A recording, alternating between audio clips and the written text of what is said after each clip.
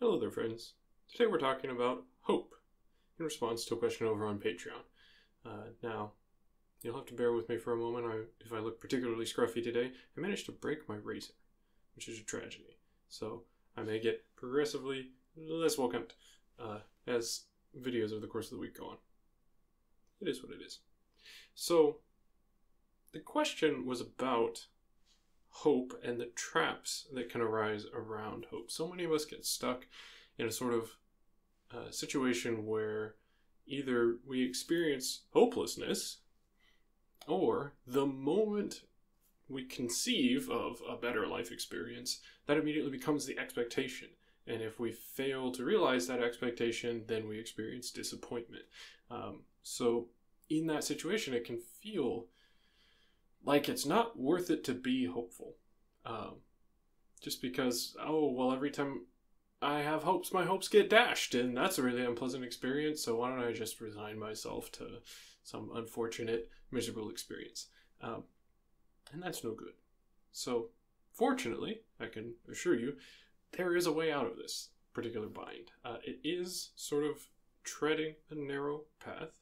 It's very much the walking on a razor's edge experience.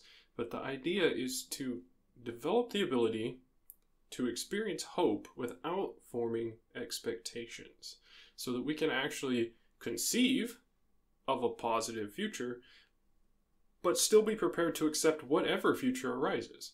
And that begins with acceptance of the present experience, training oneself to continuously say yes to whatever happens to be right now. From a place of having accepted what's happening right now, what takes care of me going into the future?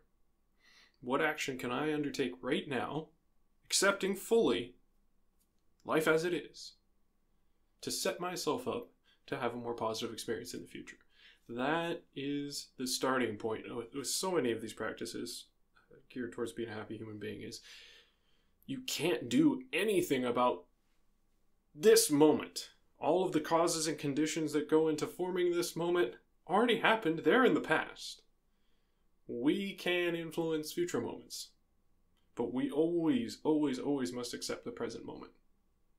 And once you're there, once you're established in that practice of acceptance, then when you build up an optimistic viewpoint, these are all of the wonderful things that could happen, which is great and motivating in the now.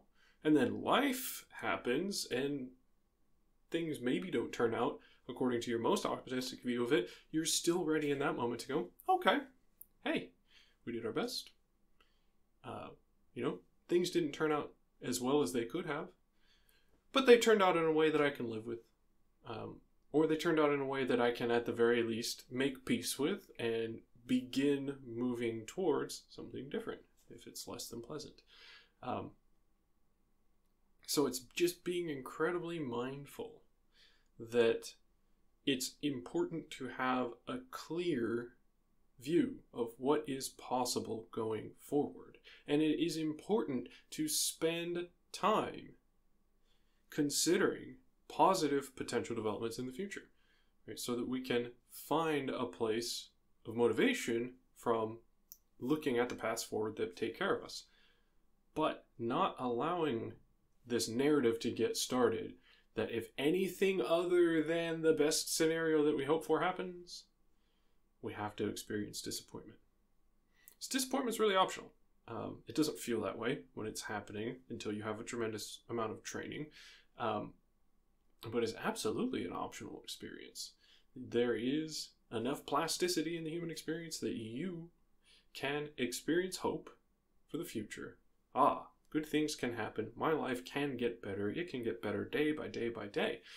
And yet, when setbacks happen, be in a position to be able to accept that calmly, not go into that experience of despairing or disappointment, and just say, what is it that I need to do right now to take care of myself and keep moving in the direction of being a happy human being?